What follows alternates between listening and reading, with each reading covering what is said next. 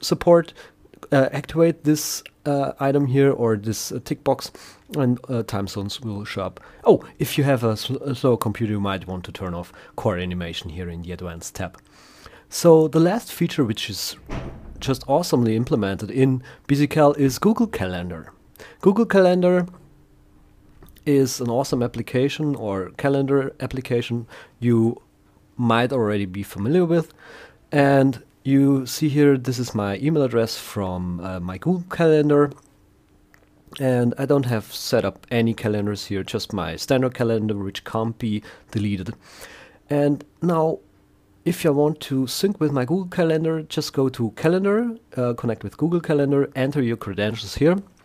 This will take some time because I'm very slow at typing. You can set to sync messages to pop-ups on Google or and you can even set if you don't want to publish any events which are older than three or uh, three months or one year.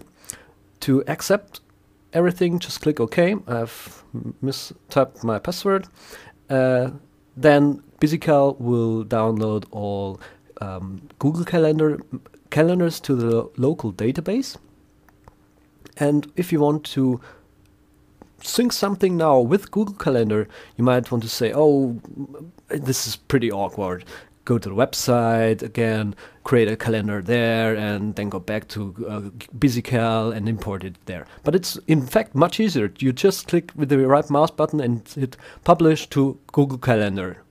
And then it's being already uploaded to Google Calendar. And because it was so easy, we'll, we'll do this with a couple more uh, calendars. And you see here that BusyCal is now working. It's uploading all our iCal or BusyCal data to the website. And when I switch to the Google Calendar website, refresh the web page, you see all events are uh, appear appearing in Google Calendar. Calendar. All the calendars are being displayed on the left hand side with their correct name, and all the events are listed as well. So let me just quickly add, edit this event here by setting it to uh, start at 1445. And now when I want to have this uh, event show up in Google or in BusyCal, sorry, I just go to the menu bar, and select sync now to force a sync and you see this uh, event is being updated in BusyCal. This was so easy and fun. I love it. Uh, okay, if you want just here I have a subscribed calendar in Google Calendar, which is the UK holidays calendar.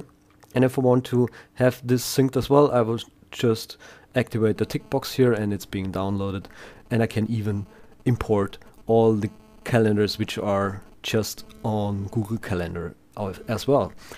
Now the advantage why this is great is because BusyCal keeps the local iCal database intact and just syncs locally the iCal calendars to Google Calendar. And that's why this feature is so, so powerful because it doesn't inflict with any sync uh, problems or doesn't make any sync problems with iTunes and your iPhone and all devices you might want or you might be using. You just go to the website and boom. Okay, as a conclusion, I must admit BusyCal is an awesome application, and I never thought I would be missing features in iCal before I started using BusyCal. You see here just the fact that it's possible to have sticky notes even in BusyCal is just an amazing feature. This saves me running one application. And the weather for itself, I mean, I never figured I would be using the weather so much, but just, I mean, it's so easy. Just bring up BusyCal and I have the current weather around uh, for the next five days, for instance. Or and, and I can even set to display the moon phases as well, if someone wants to like it.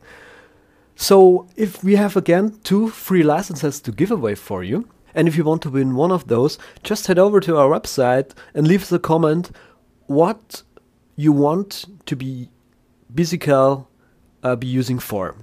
Tell us what's your use for BusyCal, and then you are well. Then you can win one of three, t- sorry, two free licenses for BusyCal.